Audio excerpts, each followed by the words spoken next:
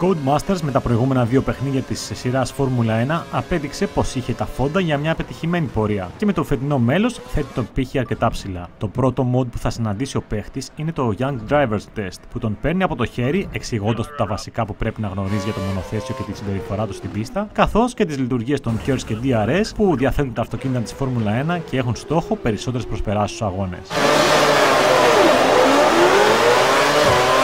Ferrari, Red Bull και McLaren έχουν το ρόλο του καθοδηγητή και με βάση τις επιδόσεις των τεστς κάνουν την εμφάνισή τους στα πρώτα συμβόλαια για την παρθενική εμφάνιση του οδηγού μας στο Παγκόσμιο Πρωτάθλημα της Φόρμουλα 1 εφόσον επιλέξει να χαράξει την δική του πορεία στο Career Mode.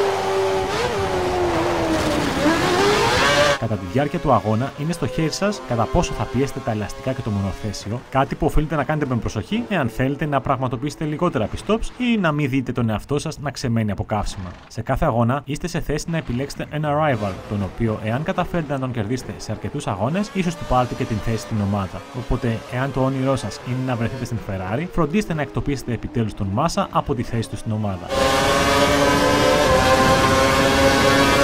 Στη φετινή έκδοση την εμφάνισή του έκανε και ένα νέο mood στη σειρά με τίτλο Champions Mode. Σε αυτό θα δοκιμάσετε την τύχη και τις αντοχές σας ενάντια στους 6 παγκόσμιους πρωταθλητές της Φόρμουλα 1 που βρίσκονται στο πρωτάθλημα με στόχο να τους προσπεράσετε σε έναν αγώνα όπου έχουν σαφές προβάδισμα, κάτι που αποτελεί εξαιρετικά δύσκολο επίτευγμα. Με το Season Challenge έχετε 10 αγώνες στη διάθεσή σας για να τρεματίσετε μπροστά από όλους βαθμολογικά, με τη διαφορά εδώ ότι έχετε τη δυνατότητα να προτιμήσετε την ομάδα της αρεσκίας σας.